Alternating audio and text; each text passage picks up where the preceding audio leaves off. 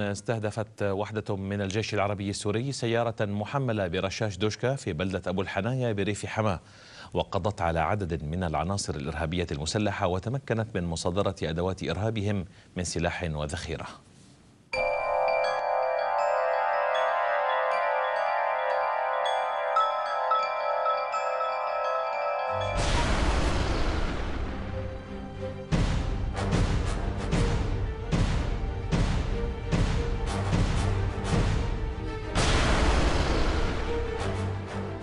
حامي الأرض والعرض.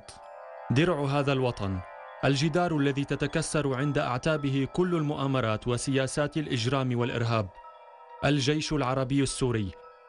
وفي سلسلة عمليات التطهير التي يقوم بها على امتداد الجغرافيا السورية من عصابات الغدر والإرهاب وملاحقتها أينما وجدت ففي بلدة أبو الحنايا بريف حماه قام باستهداف سيارة محملة برشاش دوشكا وقضى على إرهابيين كانا يحاولان الفرار مدججين بالسلاح يحملان هويات تدل على انتماء تكفيري إجرامي.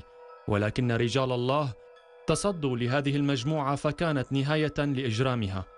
كما صادر الجيش العربي السوري أسلحة وذخائر وقذائف أر بي جي وملابس للعصابات الإرهابية تحمل شعارات جبهة النصرة. كما حوت المعدات المصادرة على أقنعة واقية وبنادق رشاشة وكمية كبيرة من الذخيرة.